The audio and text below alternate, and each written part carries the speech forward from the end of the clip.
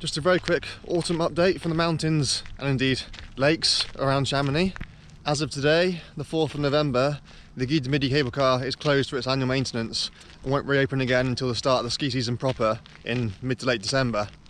The Montenvers train and gondola at Montenvers are also now closed as well, so basically, if you want to get up into the high mountains, that's it for the year unfortunately. The Flégère gondola is currently open for the Toussaint holiday. It's open until the 11th of November.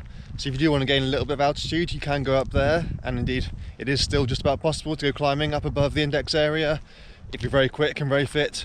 But the index chairlift itself is closed, so you have a very long approach to get up there. Even the Torino hut is closing today all the other high mountain and mid mountain huts were already closed so yeah there's really not many options if you want to be up high unfortunately. November is pretty much the only month of the year where chamonix and the surrounding valley really does feel dead. Even in spring there's not really a spring into season or shoulder season anymore.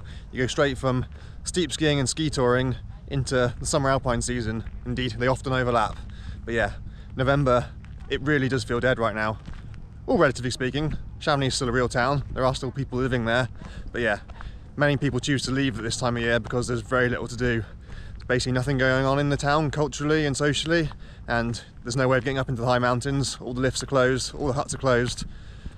You could still be climbing, but yeah, you're gonna have to put a hell of a lot of effort in to get up there. It's a real shame for those who like mixed climbing, whose conditions are pretty good right now, especially on the east face of Pointe Lachenal and Mont Blanc du Tacul.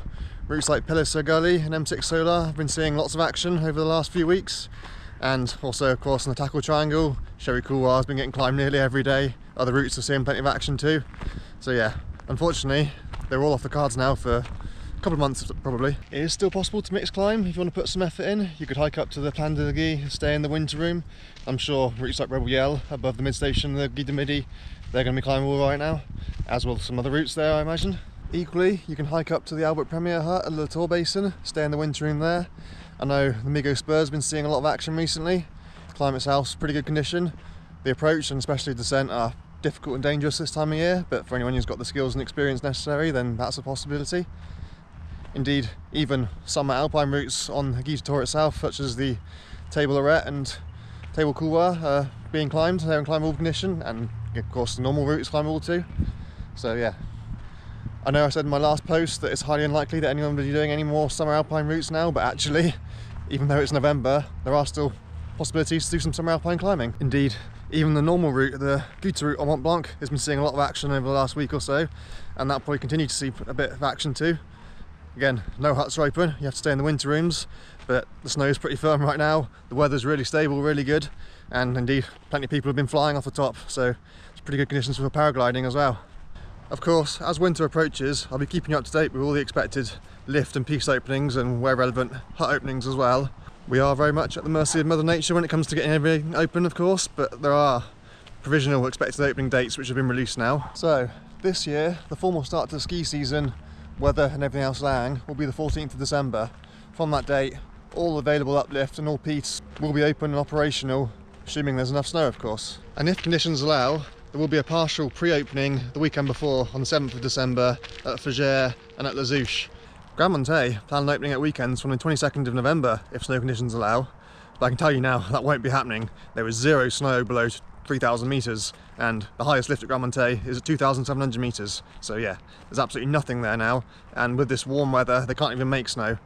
And there's no snow in the forecast for the next week or two either. So yeah, don't expect to be skiing in Grands Montets in November, despite what they may say. But all things being equal, they hope to have a full opening on the 6th of December. So they'll be the earliest ski area in the valley to be fully open, in theory. The Montenvers train should reopen again on the 30th of November, but the gondola down onto the ice won't open again until 21st of December. So you won't actually be able to get down to the glacier unless you can take the Via Ferrata.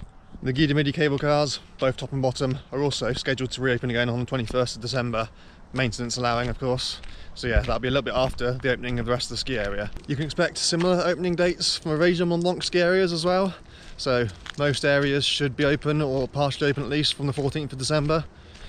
The Contamine typically try and open at weekends and have a pre-opening before that, so if the snow allows, they may well be opening from the start of December at weekends, but again, we shall have to see.